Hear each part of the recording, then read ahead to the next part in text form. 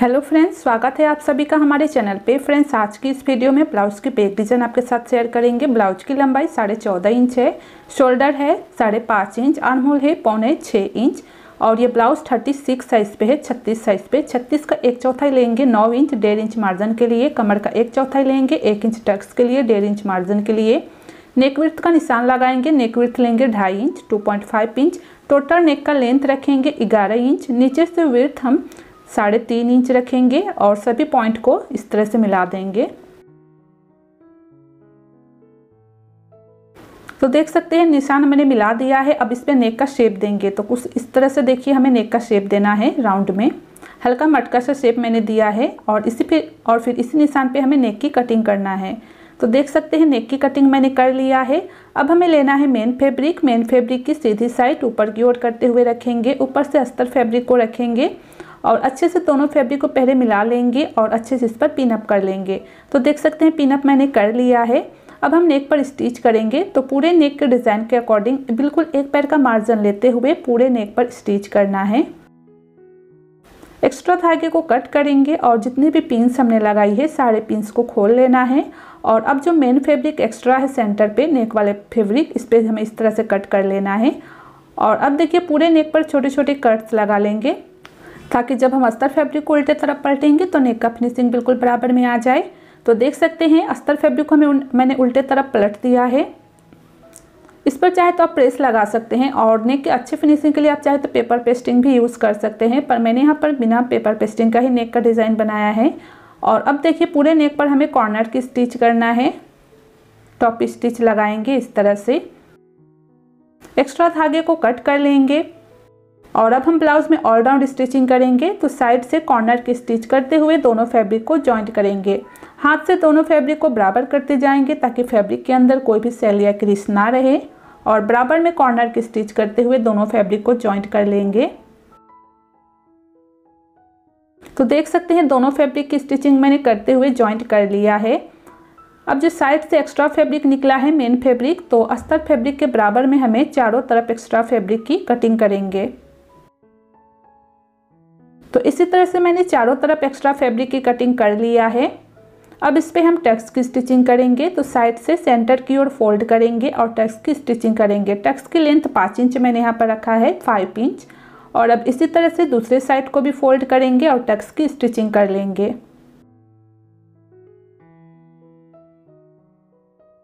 तो देख सकते हैं, दोनों साइड मैंने टक्स की स्टिचिंग कर लिया है। अब हम कमर पे कमर पट्टी लगाएँगे तो डेढ़ से दो इंच चौड़ी पट्टी की चौड़ाई रखनी है। पट्टी को ऊपर के साइड रखेंगे और हाफ़ इंच का मार्जिन कवर करते हुए पट्टी को इस तरह से ज्वाइंट कर लेंगे। एक्स्ट्रा पट्टी को कट कर लेंगे और अब पट्टी को इस तरफ़ को पलट लेंगे और पट्टी के ऊपर से ही एक स्टिच लगाएँगे। एक्स्ट्रा धागे को कट करेंगे और ब्लाउज वाले पार्ट को उल्टे तरफ़ को पलट लेंगे कमर पट्टी को डबल फोल्ड करते हुए चाहे तो आप इस पर तुरपाई कर सकते हैं या फिर आप इस तरह से रफ स्टिच भी लगा सकते हैं ताकि हम बाद में इस पर तुरपाई कर सकें। तो देख सकते हैं कमर पट्टी की स्टिचिंग हो गई है तो ब्लाउज की सिलाई हो गई है। अब हम इस पर डिज़ाइन बनाएँगे तो इसके लिए ब्लाउज को करते हैं साइड। डिज़ाइन के लिए हमें कुछ पट्टी एक पट्टी लेना है। कॉन्ट्रास्ट में मैंने पट्टी लिया है, आप चाहे तो ये डिज़ाइन बिल्कुल मैचिंग फैब्रिक का भी बना सकते हैं, पर मैंने यहाँ पर कॉन्ट्रास्ट में फैब्रिक लिया है। और पट्टी की चौड़ाई मैंने यहाँ पर थ्री इंच रखा है, तीन इंच पट्टी को सीधी साइड को फोल्ड करेंगे और कॉर्नर की स्टिच करते हुए इसे जॉइंट करेंगे। एक्स्ट्रा धागे को कट कर लेंगे और साइड से जो एक्स्ट्रा धागा और फैब्रिक निकला होगा तो उसे अच्छे से कट करके क्लीन कर ले और किसी चीज़ की मदद से पट्टी को इस तरह से सीधा कर लेंगे। और जो जॉइंट वाली साइड है, इसको सेंटर पर रखते हुए इस पर प्रेस लगाएँगे। इस तरह से जॉइंट वाली साइड सेंटर पर रखना है। और डिज़ाइन के लिए आप पट्टी को कट करेंगे तो ढाई इंच 2.5 इंच की लेंथ रखते हुए पट्टी को इस तरह से फोल्ड करेंगे और बराबर में कट करके इसे रेडी कर लेंगे। और फिर इसी तरह से मैंने और कुछ पट्टी अलग से कट करके बना के रख लिया है, क्योंकि जितनी भी ज़रूरत होगी मैं ब्लाउज़ में यूज़ करने के लिए तो अलग से हमें बना के रख लेना है। तो देख सकते हैं मैंने कुछ बना लिया है तो इसे करते हैं साइड अब हम ब्लाउज़ वाले फैब्रिक को लेंगे और ये जो पट्टी है, इसको देखिए ऊपर से एक इंच का गैपिंग पहले हमें छोड़ देना है और फिर पट्टी को फोल्ड करते हुए बिल्कुल नेक के कॉर्नर पे रखेंगे और थोड़े थोड़े गैपिंग सेंटर पे छोड़ते जाएँगे। हाफ़ इंच हाफ़ इंच करीब में सेंटर पे जगह छोड़ते जाएँगे और फिर एक एक पट्टी को फोल्ड करते हुए जॉइंट करेंगे बराबर में पूरे नेक पर।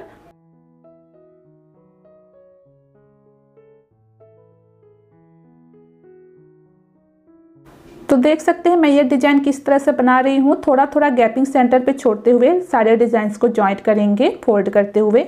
और दोनों शोल्डर के साइड हमें इस तरह से चेक कर लेना है ताकि दोनों शोल्डर वाली जो डिज़ाइन है बिल्कुल बराबर में आए।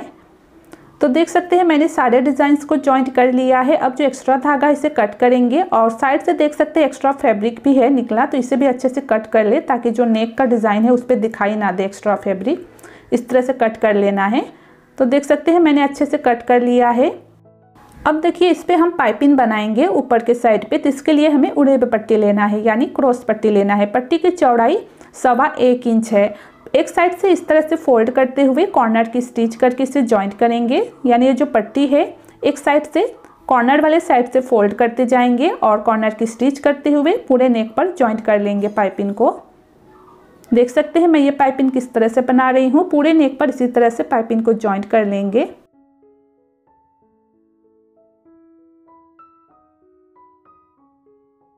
तो देख सकते हैं एक साइड से मैंने पाइपिंग वाले फैब्रिक को फोल्ड करते हुए ज्वाइंट कर लिया है। एक्स्ट्रा पट्टी को कट कर लेंगे। अब जो ये पाइपिंग है, इसके दूसरे साइड से भी इस तरह से फोल्ड करेंगे। अंदर के साइड फोल्ड करना है, बाहर के साइड नहीं। ब्लाउज वाले साइड को फोल्ड करना है अंदर के साइड और बराबर में फोल्ड करते हुए इस साइड से भी कॉर्नर के स्टिच करते हुए इसे बराबर में पूरे नेक पर पाइपिंग को बना लेंगे।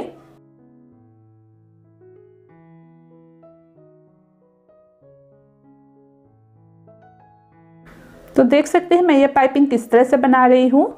इसी तरह से अब देखिए पूरे नेक पर मैंने अच्छे से पाइपिंग को बना लिया है।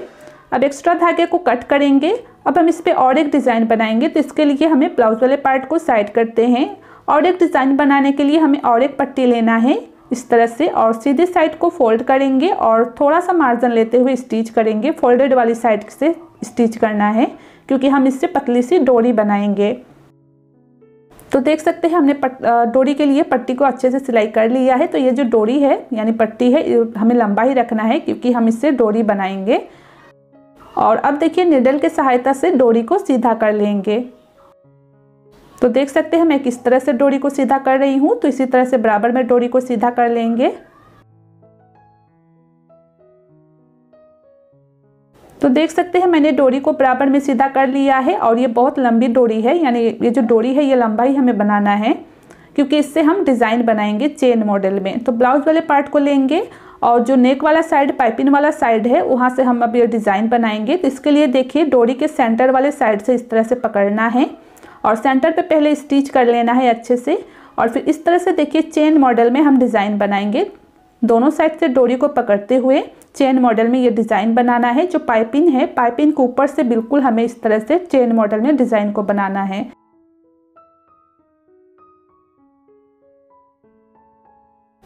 तो देख सकते हैं मैं ये डिज़ाइन किस तरह से बना रही हूँ। दोनों तर, दोनों तरफ़ डोरी को पकड़ते हुए चेन मॉडल में इस तरह से बिल्कुल पाइपिंग के ऊपर से ही डिज़ाइन को बनाना है। तो देख सकते हैं मैंने ये डिज़ाइन किस तरह से बनाई है। पूरे नेक पर मैंने सेंटर की ओर चेन मॉडल में डिज़ाइन को बना लिया है अच्छे से डोरी से। अब जो एक्स्ट्रा डोरी है इसे कट कर लेंगे। और इस पर अब हम और एक डिज़ाइन बनाएँगे। तो इसके लिए देखिए हमें मोती लेना है। तो मैंने यहाँ पर मीडियम साइज़ की मोती लिया है। आप चाहे तो बड़े वाले साइज़ का भी मोती ले सकते हैं या फिर स्मॉल साइज़ का भी मोती ले सकते हैं। और निडल के सहायता से हम ये डिज़ाइन बनाएँगे। तो ये जो हमने चकोर डिज़ाइन बनाई है फोल्ड करते हुए, दोनों कॉर्नर पे इस तरह से निडल से पहले इस तरह से स्टिच करना है और सेंटर की ओर फोल्ड करते हुए मोती को ज्वाइंट करना है। तो देख सकते हैं मैं ये डिज़ाइन किस तरह से बना रही हूँ। आपको समझ में आ गई होगी।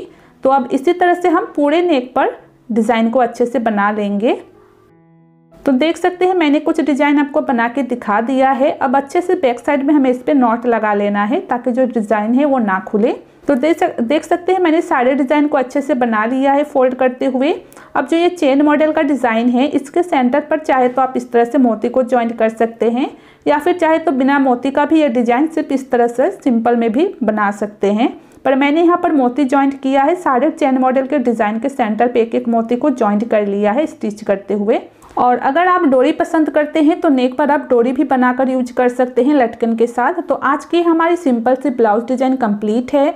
आज की ये डिज़ाइन आपको कैसा लगा मुझे कमेंट में ज़रूर बताइएगा। पसंद आई हो तो लाइक और शेयर ज़रूर से कीजिए। चैनल पर पहली बार आए हैं तो प्लीज़ हमारे चैनल को सब्सक्राइब कीजिएगा। मिलेंगे नए वीडियो में नए डिज़ाइन के साथ। Thanks for watching